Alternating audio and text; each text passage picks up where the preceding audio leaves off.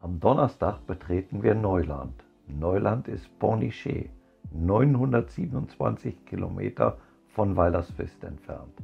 Aber das hat natürlich auch einen Grund.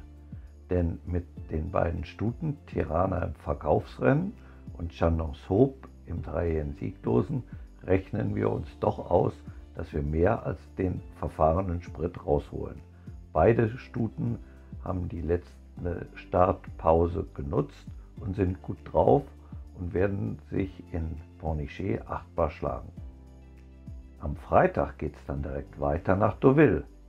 Auch das ist von uns aus 750 Kilometer entfernt und mit Orihimi, die für uns schon elf Rennen gewonnen hat, habe ich, denke ich mal, mit dem dortigen Verkaufsrennen eine Aufgabe gefunden, die durchaus lösbar ist für sie. Das wäre dann der zwölfte Sieg. Warten wir mal ab. Und dann haben wir noch 707 laufen. Das Rennen ist etwas schwerer, aber wenn es nicht klappt, dann fehlt ihm noch ein Start und er hat ein Valeur und dann sieht die Welt wieder ganz anders aus.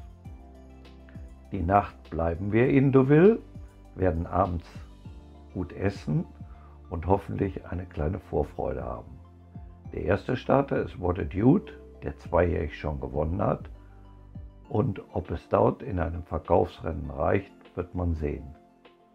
Und dann kommt Moving Time. Er hat ein Prep-Rennen für St. Moritz und die Aufgabe ist, ohne dass ich mir auf die Schulter klopfen möchte, wohl ausgesucht. Ich denke, für alle Freunde, die eine kleine Wette machen müssen, ist das mal der Tipp des Trainers. Und wenn das alles funktioniert, dann sollten wir unsere Susi nicht vergessen und beim Stable Stuff Award für sie abstimmen, denn die hat ihn dann gut gefüttert. Hals und Bein für alle Aktiven, für Moving Time und Susi Blau.